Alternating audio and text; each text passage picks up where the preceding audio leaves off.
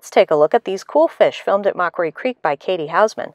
These are some sort of leporinus. I have a few guesses which one. And these fish with the red are Crenicichla johanna, a really cool pike cichlid that have a pretty widespread range across South America and can vary a lot in the way that they look depending on where they're from and also their mood. These ones are likely in breeding mode, judging by the bright colors and territorial pacing that they're doing. As you can see, this part of Maquari Creek is a different kind of habitat than the flooded forest that we've been showing you for a while. The water here is fast and has lots of silt and suspended sediments, which makes it hard to take videos of fish without washing down river or kicking up sediment. The water here was also much cooler than the flooded forest, in the 70s, compared to the 80s at Daraqua. These are some species of Leporinus. Again, I have my guess, but with 84 described species that I don't know very well or have great photos for, it would just be a guess, so let's just call them cool fish. It's important to note that this area supports a large variety of aquarium fish, and their gentle capture provides sustainable livelihoods.